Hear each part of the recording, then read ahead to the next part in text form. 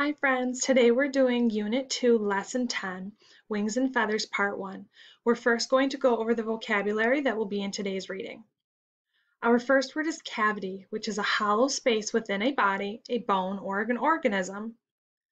Our second word is glide, which means to move smoothly and continuously. Our next word is insulation, which is material that separates an area in order to keep in a form of energy. And our last word is nest, a structure formed and used by animals for laying and hatching eggs. We are now going to move into today's reading. Hello folks, it's me, Rattenborough, once again. If you recall, you learned all about reptiles last time. How exciting that was. Can you remember which group of animals you are going to hear about today? Birds! I can't wait to tell you all about my friend Ebenezer. I met him on the continent of Africa. Before I tell you about him, I thought we would begin today's lesson by quickly reviewing how Paulo, Tabitha, and Anna are related to each other. Remember, just because they don't look the same, they do have quite a bit in common, beginning with the fact that they are all members of the animal kingdom. I brought along special diagrams of their skeletons to help you.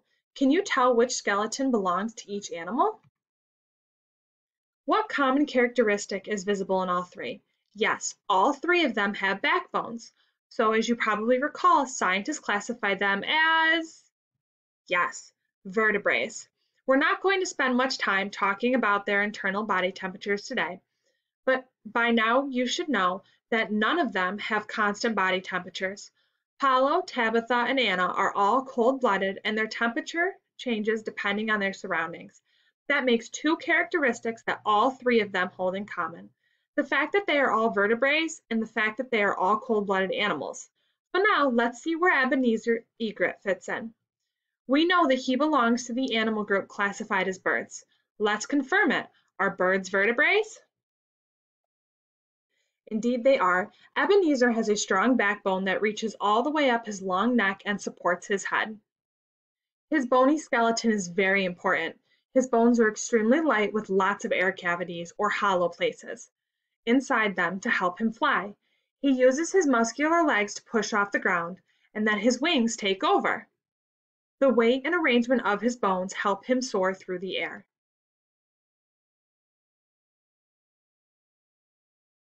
Their bones are extremely light with lots of air cavities or hollow places inside them to help them fly. Birds are the lucky ones, aren't they? How many of you have ever wished that you could fly? I do like very much being a rat, but sometimes I think it would be great fun to fly. Ebenezer is very graceful, isn't he? So far you have learned in detail just about cold-blooded animals, reptiles, amphibians, and fish. Do you think Ebenezer and all birds are cold-blooded too? Scientists classify birds as warm-blooded because their internal body temperature remains constant no matter where they fly. Birds have several characteristics that enable them to fly, but being warm-blooded is essential to flight. They have a very high metabolism, as only warm-blooded animals do. Metabolism is the process that produces energy in most animals' bodies. When we speak about the high metabolism of birds, we are speaking about the fact that they have a steady flow of energy that helps them maintain the high levels of activity required by flight. The higher the activity level of an animal, the higher its metabolism is likely to be. What this means when it comes to eating is that they need lots of food to maintain that energy. Have you ever heard the saying, eats like a bird, for someone who eats very small amounts of food at one time? Ebenezer told me that an important thing to remember about this expression is that it does not mean that birds do not eat very much. In fact, Ebenezer and birds like him need to eat two times their body weight in food every day because they have such a high metabolism and burn lots more energy than most animals. Of course, there are lots of small meals a day for birds, quite unlike Anna Anaconda, who sometimes eats only one big meal in a period of many days. So someone who eats like a bird is usually someone who picks at their food and only eats small bits at a time. So like all birds, Ebenezer is warm-blooded, and he's a vertebrate with lightweight bones to help him fly. Look at this image and describe some other physical characteristics that help scientists classify Ebenezer as a bird. Good eyes, boys and girls. Let's begin with his wings. Ebenezer has wings, and wings are essential to flight. The shape of a bird's wings determines how far and high a bird can fly, in addition to its lightweight bones. Look at this picture of an American bald eagle. His, broad, his long, broad wings are built so that he can glide or move smoothly and continuously. He can soar great distances, traveling up to 65 miles per hour.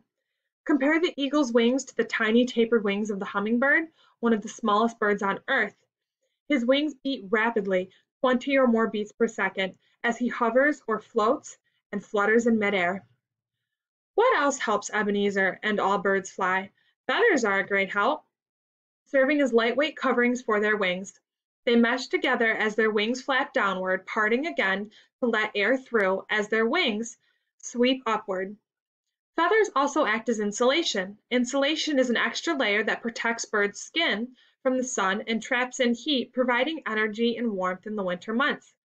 The point of the feather, where it is attached to a bird's body, is called the quill. All birds have feathers. No other animals do. So if you spot a feathered friend, you may assume that it's a bird. Because their precious feathers take quite a beating, birds take good care of them and often preen them with their beaks to keep them clean, waterproof, and in the right position. Take a look at Ebenezer's beak. Isn't it a beauty?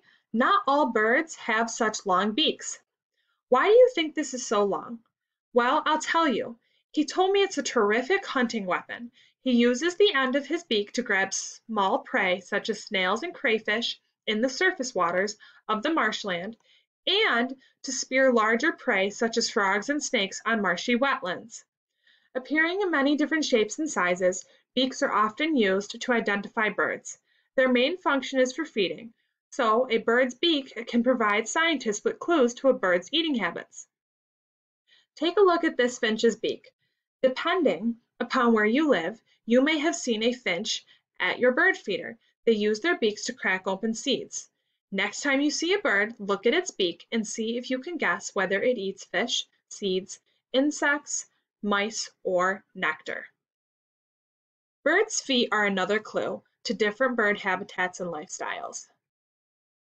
Hawks have long talons or claws to catch their prey. Waders have long legs. Woodpeckers have feet adapted to climbing trees. Perching birds have single hind or rear toes for grasping branches, and ducks and geese have webbed feet for swimming. Birds are the only group of animals that give birth by only one means. They are fascinating pattern breakers in all of the other groups. All birds lay their eggs. Their eggs are yolk filled and have hard calcified shells. They need to be incubated or kept warm so the parents sit on them until they hatch. This can be dangerous because sitting birds are prime targets for predators.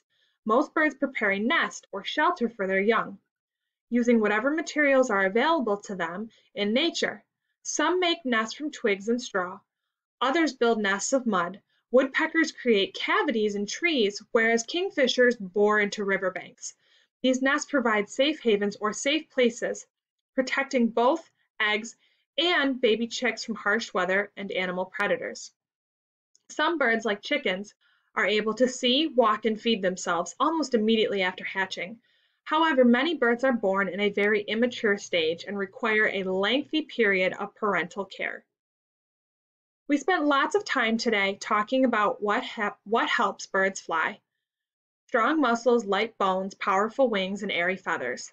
But did you know that in spite of having all those things in common, some birds are unable to fly? Flightless birds include the largest bird on Earth, the ostrich. With a seven-foot wingspan, it seems odd that ostriches can't fly, but they hold records for being both the fastest birds on land and the fastest two-legged animals on Earth, able to run up to 40 miles per hour. Australian emus, also large and flightless, look a lot like ostriches and often travel long distances to find food. Penguins are perhaps the most endearing or affection-inspiring of all flightless birds. These aquatic birds of the southern hemisphere waddle along their short legs and webbed feet down to the sea. Their wings serve as flippers, carry them swiftly through Arctic waters, traveling up to 15 miles per hour. Birds live all over the world, in cool, wet rainforests along ocean shores, in dark, dense evergreens, and hot, dry deserts, and on the banks of lakes, rivers, and streams. Some travel long distances, migrating to warmer homes in winter, whereas others are homebodies, never straying very far from where they were born. Some can swim and others can fly, some enchant us with their songs, whereas others shout caw, caw. Birds come in all different shapes and sizes, but all birds are warm-blooded, egg-laying vertebrates with feathers and wings. Birds are very different from the animals we will study next time. So far you've learned about fish, amphibians, reptiles, and birds. What do you suppose is next? I'll give you a hint. They're hairy and warm-blooded, and you just may find that you know more about them than you think you know. Thank you for being such good listeners. I will see you very soon. You may now move on to Unit 2, Lesson 10, Google Form.